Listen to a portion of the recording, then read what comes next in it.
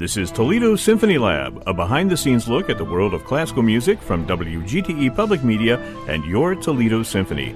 I'm Brad Cresswell. Joining me today are the Toledo Symphony's president and CEO Zak Vassar, principal second violin and artistic administrator Merwin Siu, and the TSO's marketing director Felicia Canny. Well, the concert that inspired our program today and last week's program, we should mention, is coming up this weekend, May 11th and 12th at 8 o'clock p.m. at the Peristyle.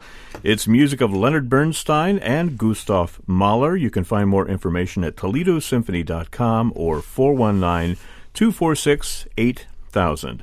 Now, we spent the entire episode last week on Bernstein and the Serenade, which is starring our own Merwin Siu, sitting right here. You told us all about your uh, experience with Serenade. We're looking forward to that. We also had a little Plato quiz, and a little bit later today, we're going to have a Mahler quiz. This is kind of a revenge quiz because it's it's coming from Zak Vassar, who has put it together for us today. Should we mention Zak that um, you walked in here and left the, the quiz at home? And, I did, and you you've, you've been furiously recreating it. It will be wonderful. Us. Yeah, well, th- of that I have no doubt.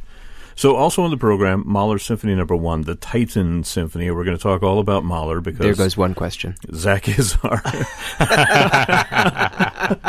Zak is uh, Zak is our resident Mahler expert, as we know. Um, but I want to talk also about the other piece on the program that we haven't talked about at all yet because it's, it's a fun little story behind it, and that is um, Mendelssohn's overture that he wrote, inspired by Victor Hugo's play Ruy Blas the Ruy Blas Overture. D- does anybody know the story behind this?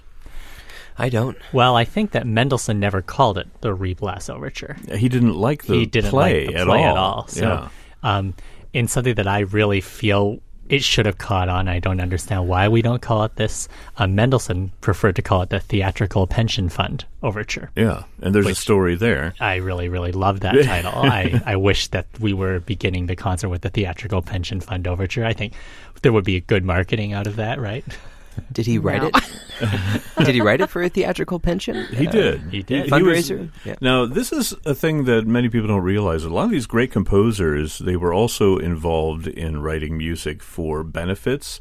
I mean, more often than not, it was a benefit for themselves, but occasionally they would do, they would do, you know, a, a piece of music for a specific benefit that they felt was a worthy cause. And in the case of Mendelssohn, he was approached by this theatrical society, what have you, and they said, could you do an overture and um, a piece of music for us, a song for this production we're doing of Victor Hugo's Blas?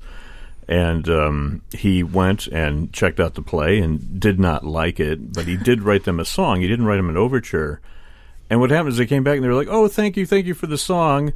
Oh, it's just too bad you didn't have time to create an overture for us." And he took that as a challenge. So then he went back and quickly dashed off this overture, which they rehearsed, I think, maybe four or five times uh, before they actually premiered it with the play. But as you say, Merwin, then he never called it the Ruy Blas Overture after that. Probably because it's such a hard name to pronounce. I mean, we spent like five minutes before we went on air trying to figure out how to pronounce Ruy Blas. So It's R U Y B L A S. Yeah, Mm-hmm. So it, it, it could be done.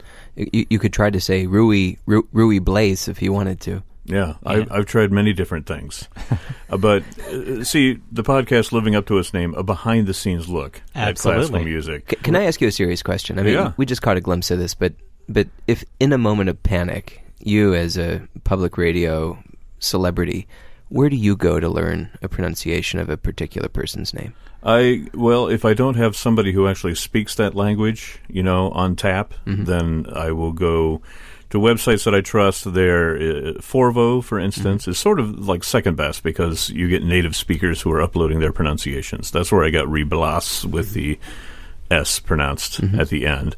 And after that, you know, you just make it up. And, but the, the trick is, or avoid the word altogether. or, or avoid the word altogether. Yes, Mendelssohn's Theatrical Pension Fund Overture. like if I look at, I'm going to write that down because we can do that now. Um, if if I see like a conductor's name that I'm not sure of or an orchestra, but I know the music, I'll say, "Hey, that was Mendelssohn." You know, and move on, right? Or that guy. Courtesy of the London Philharmonic, but you won't say who was conducting. So number one, better safe than sorry. Number Sure. two, if you're going to be sorry, just go all in and, and make whatever pronunciation you feel is right, but make it sound authentic. convincing. Yes. Okay, yeah. Now I've just lost like three fourths of my audience. So two listeners? the, uh, yeah. no, I started with two. You have Yeah. you have fractional listeners.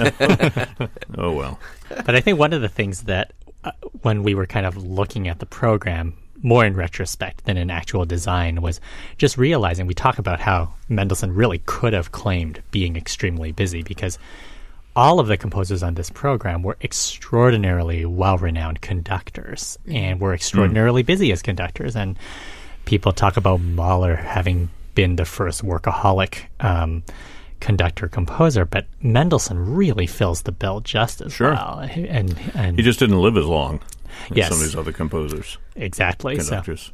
They often say that Mahler's music wasn't really appreciated until long after he died, and you could make the same argument about Leonard Bernstein.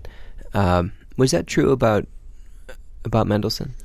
I think that Mendelssohn's re- reception, a lot of the pieces, they were very unevenly received. I think that his, some of his works were considered overly conservative by um, some of the more kind of progressive composers. I mean, it's it's amazing to hear a Mendelssohn symphony and a Berlioz symphony and think that they're contemporaneous. Um, Yeah.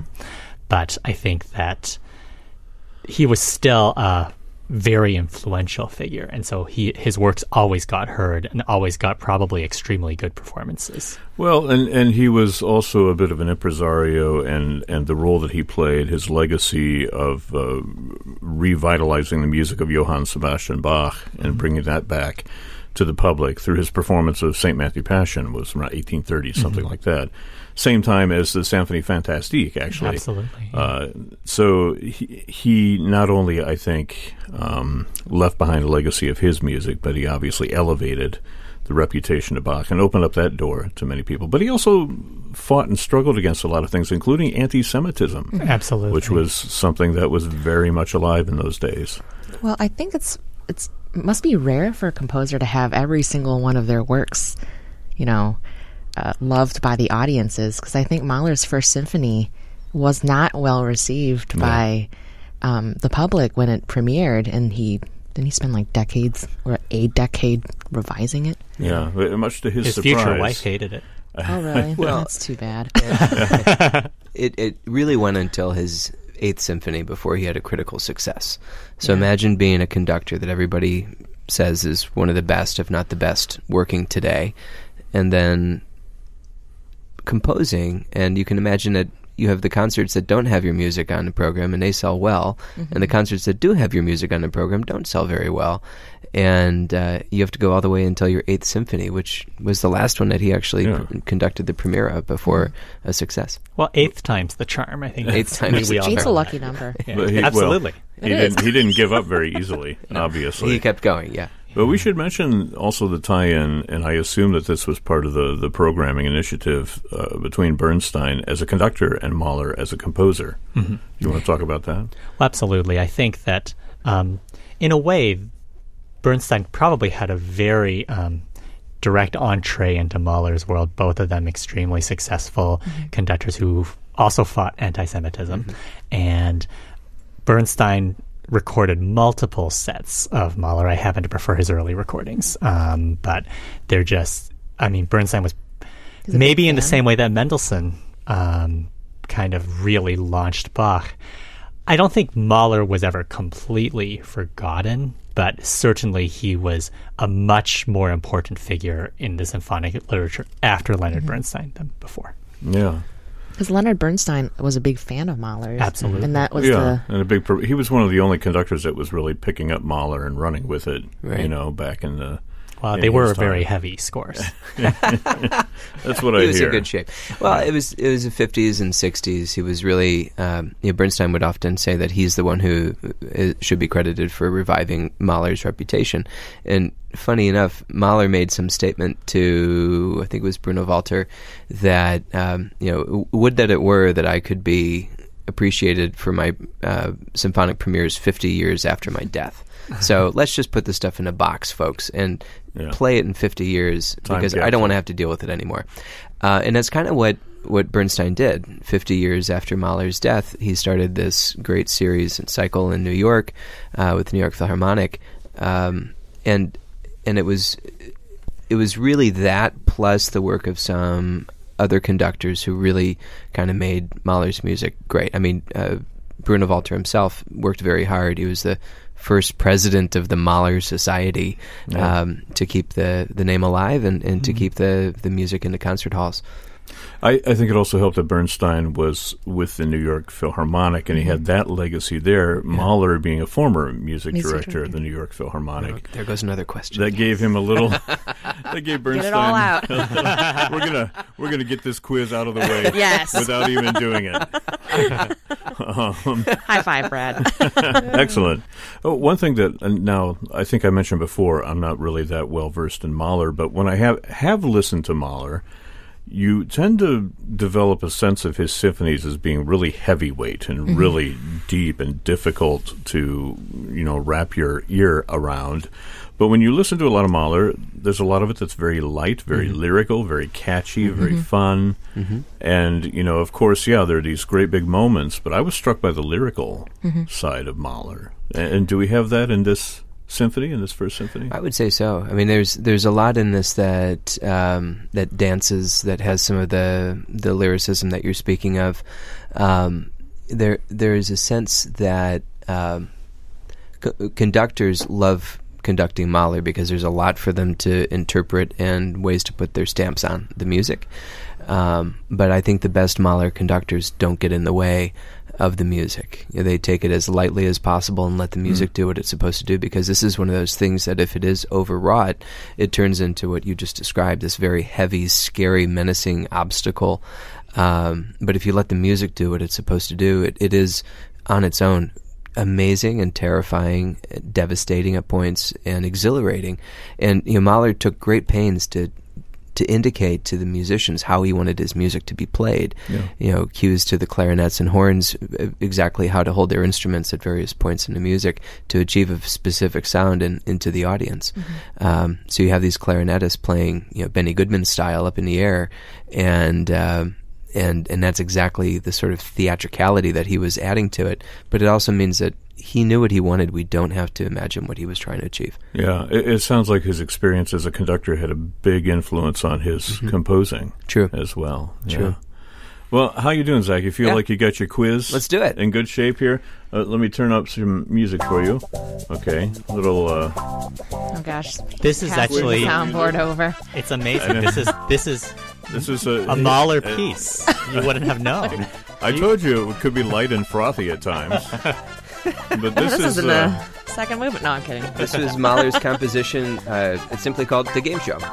I have turned over the soundboard to Zak Vassar, so he is in control now of all the special effects. You've given him too hear. much power. Well, is- you know, we've only got a few episodes left this season, What's so this about absolute power corrupting? There's this is what we call jumping the shark. We're gonna.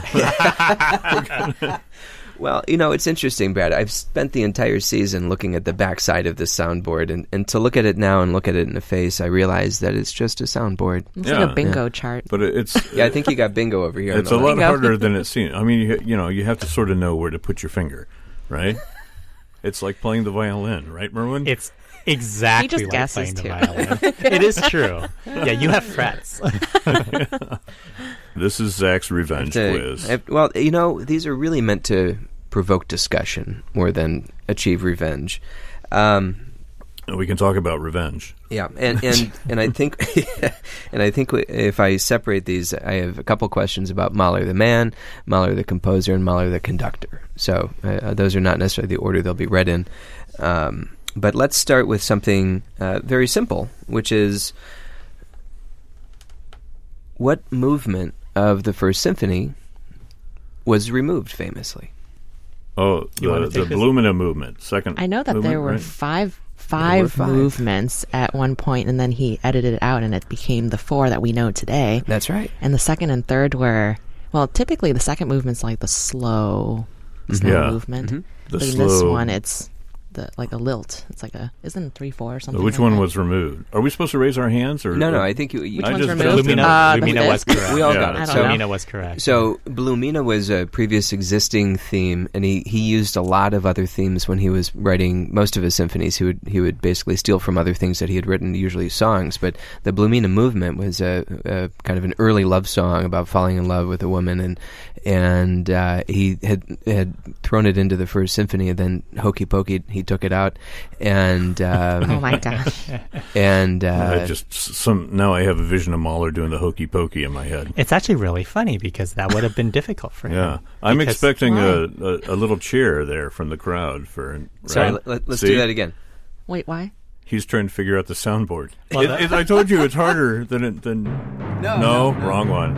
Mm. That- Wow, they go. the wrong You can play two at the same time. Yeah. Apparently. Definitely the hokey pokey is not on the soundboard, but Mahler actually had kind of a a nervous walk that some people actually describe as a nervous twitch in one of his legs. And I think and they say Oh. that he oh. actually inherited that from his mother. Now you're So- telling me that the hokey pokey makes you it think Would have been of a that? challenge. Well, yes, for him to put his right Poor foot in and then put his right foot out might have been a twitchy, Gosh. twitchy d- d- difficulty for You him. are going to Mahler hell. I'm going to Mahler Hell. We're doing a quiz on Mahler with Zak we doing the made quiz. fun of We're him. in you- Mahler Hell right and now. You, and you've been rehearsing this for how long? I'm sure. Ah, okay, folks, let's try to uh, bring this back here because I really didn't expect to go to the Mahler hokey pokey on that one. Um, You okay, said What was the provoke, question? provoke discussion. Here we okay. are. So uh, one of the reasons that the First Symphony achieved such critical disdain is the uh, the handling of the opening of the third movement, in which he rearranges a popular children's tune to almost funeral dirge effect. So, what was the uh, the popular tune that? Mahler I know. I know. Okay, go ahead. Okay, Felicia. Is it Frere Jacques? It is Frere Or Frere are you sleeping? Or Yeah. That's right, and I think there's even a German version of like it a, that. where's. Bruder Heinrich or yeah. Bruder Johann. or- exactly. And I think right now Zak is going to play it on his kazoo. Oh yes. Oh, he forgot it. Oh well. What I would love to do i- in a, if we can splice it in later, is to just play the opening of the fourth, the third, third movement. movement. Why can't we sing it? It has to be in minor, right? Well, ex- so Wait, you you guys, gotta roll your. what- you, you did a reasonable job there because what he, he, he makes it minor keyed, so he, he takes that, that half step down. It's beautiful. I love Those it. kids. uh, Let's do it in a round. no. What a depressing round. That's Uh, all right. We'll get around to it. Ah, but you can imagine See, sitting now if you really knew how to use that Oh. soundboard, you would have you would have chimed in right there. Uh, okay. Yeah, I'm- Yes, we always one, cheer one, puns on this show. Um, How come my puns get crickets and his around pun gets a When he cheer? has the power.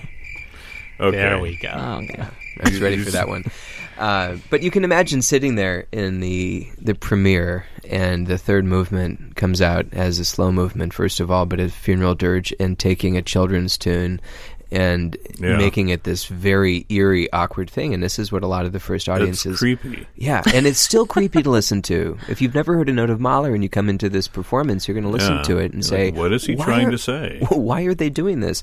And then after that, it, he incorporates a lot of klezmer music, and it um, you can imagine that original uh, audience in, in Budapest wondering what the heck they're listening to, because this is not the territory of classical music up to that point.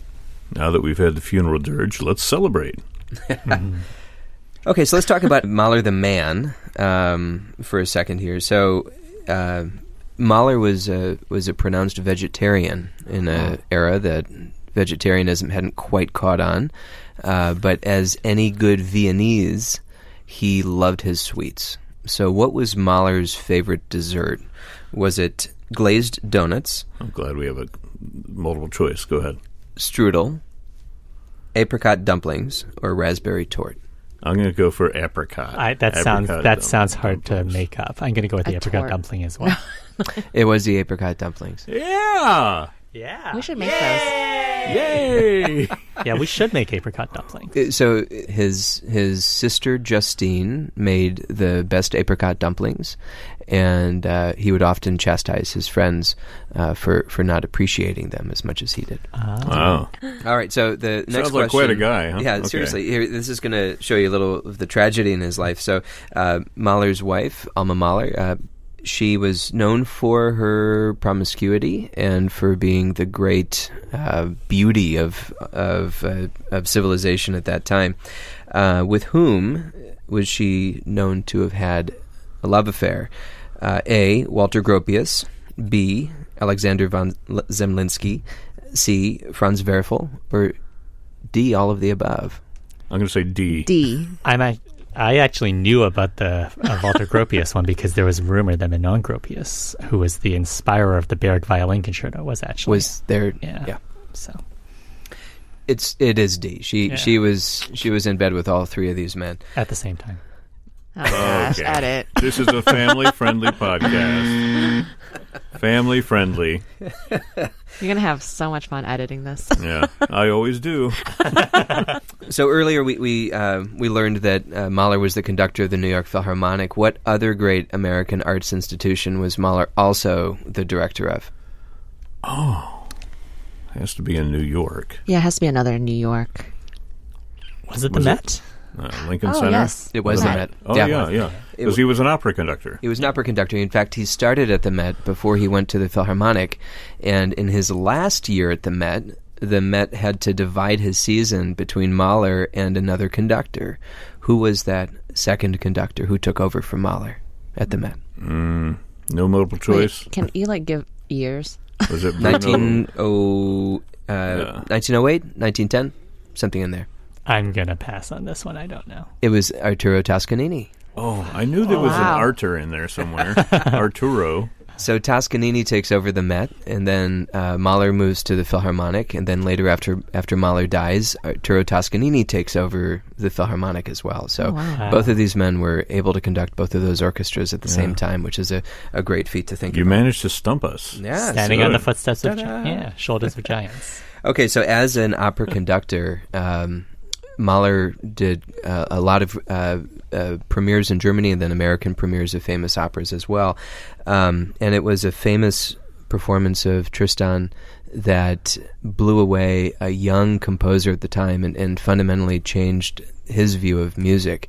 Uh, was that composer um, Eric Korngold, Arnold Schoenberg, Jean Sibelius, or Ralph Vaughan Williams? I'm going to say it was Sibelius. I'm gonna try Schoenberg. I know that they had a very, very close relationship. Mahler and Schoenberg did. Who do What you were the other for? two choices? You I have paid uh, attention, I'm Korngold, sorry. Schoenberg, Sibelius, or Vaughan Williams. Vaughan Williams. It was Vaughan Williams. Good job. And Felicia pulls ahead. You're so in the he, lead. He would do these things where, um, where he would he would play Wagner and he would go to different areas. So he actually uh, did a trip to London, his one and only trip to London that uh, that allowed him to really dazzle a new audience with this Germanic repertoire. It influenced Vaughan Williams. He's like, I'm never writing music like that. What not to do? No, I don't know. I think Vaughan Williams later on went to say that Mahler was a, um, a figment of a composer or something like that. So Yeah. the, the the love affair was short lived. Oh, Yeah. Ouch. Well, then he went and studied with Ravel and uh, wrote music that was nothing like Ravel. You know, that, that was sort of his thing. He wanted to rival Ravel. Yeah. Yeah. Yeah. Okay, so well, last official question: um, Where did Mahler conduct his final concert? Was it the Musikverein in Vienna, the Concertgebouw in Amsterdam, Albert Hall in London, or Carnegie Hall in New York? Carnegie Hall. Yeah, I think that's right. Yeah. That's right. It was Because he died Hall, in New yes. York. Yeah. Oh, he died in Germany. Or was buried in Germany, but he died in New York. I thought Yeah. he like flew back, like just in the nick of time. I think we need I don't to think take. they had planes We need to back take then. that back. Then. Did they? Wait, what year is this? 1910. 1911. 1910. Yeah, 1910. Yeah. When did planes? I don't know. Ni- ni- 1911. Are you serious? no, I can't remember. He flew. He didn't say he took a plane. That's right. Oh my. he found a he had his passenger angel's pigeon. wings and flew Just over. floated- Aw. Anyway, nice job, Felicia. I, this is what happens when I study at midnight Yeah. I I'm like a night owl. I retain everything. I think you won retain last week too. You were like the quiz champion now. Can can I end with a question that's not really a question, but I want to have this as a dialogue as we talk about Mahler. How many symphonies did Mahler write? There are many ways to answer this, and, and I just well, love to I chat mean, about that. I guess you could say maybe nine, maybe ten. I'd say At least eight? ten and a half.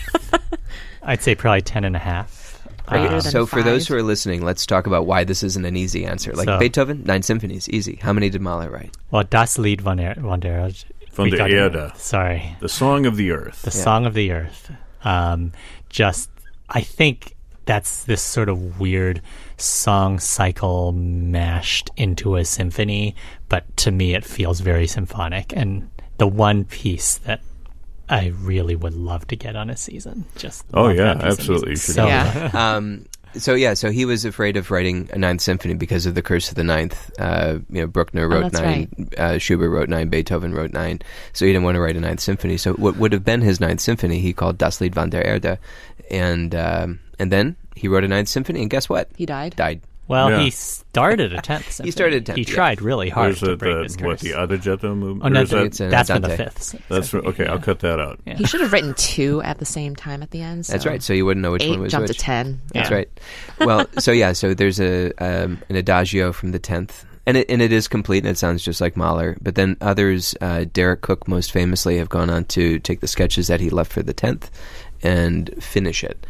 So how did you become such a Mahler fan, Zak? Uh, it's a good question. So yeah, give us your experience. um, okay, so the the short story is um, no, the, the medium length story is that my my parents had an enormous record collection, and it inspired my interest in classical music. They had classical music, they had folk, they had bluegrass, they had Broadway, they had all sorts of different things in there, but they had a lot of classical music.